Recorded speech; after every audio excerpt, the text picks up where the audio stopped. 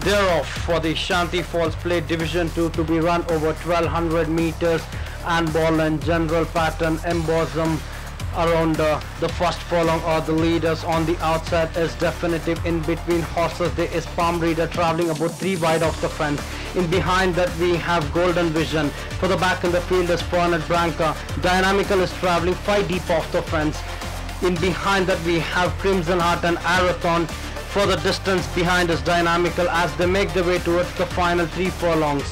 Anne Boleyn it is about a length to the better of Golden Vision. Running third there is in the general pattern the royal blue colors for the back in the field is embossum on the inside is Fernet Branca as they approach the final two furlongs.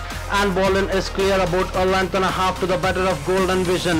Moved up to run third at the stage there is general pattern on the outside is galactical inside the final 250 meters it's Anne Boleyn about a length to the better of the one who's running second at this stage there is galactical on the outside is rightly noble inside the final 50 meters galactical is out in front close to about a length to the better of Rightly Noble moves into second position. We have tight for minus between General Pattern and Embossum. That's the one, two, and three. In behind that there was definitive for the back in the field to the other runners of Crimson Heart then came the other runners of Palm Reader, Golden Vision, Fernet Branca and Blue Fire.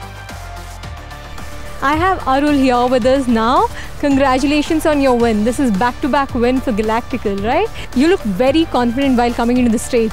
Tell us the backstory. Well, uh, last time, like you know, uh, Arjun sir had asked me to like you know like ask him a bit and then go and make your own pace and then you know ride your race. So he did respond well and I won the race last time.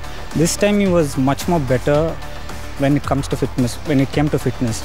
So this time what Arjun sir told me was jump out, let like two, three horses go in front, you sit behind them, track them, track the right horse and come into the straight and do your best.